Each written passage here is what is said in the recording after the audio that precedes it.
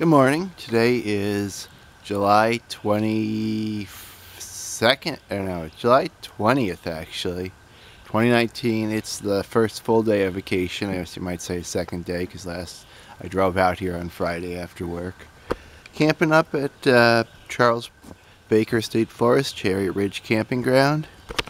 Uh, just kind of an overnight camping. It was uh, not a real nice campsite.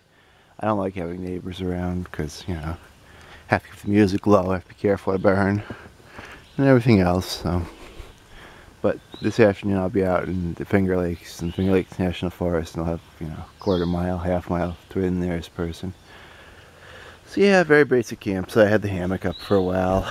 I made some coffee and cereal. It's kind of a warm, sticky, nasty morning, so I'm not. Didn't want to do too too much, and I want to get going soon. So I'm gonna start finish taking things down get things thrown back in, and I'll head out. When I get to the Finger Lakes, well, on Sunday night I'll probably pitch a tent so I can put some of the clothes and a little bit of the gear in there.